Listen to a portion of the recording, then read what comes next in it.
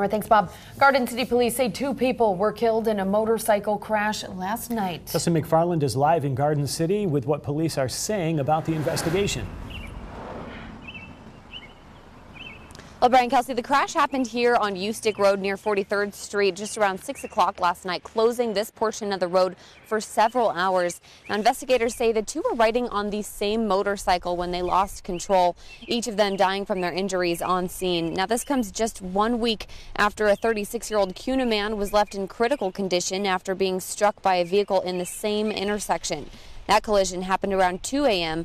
Garden City Police saying the portion of the road is extremely dark that night.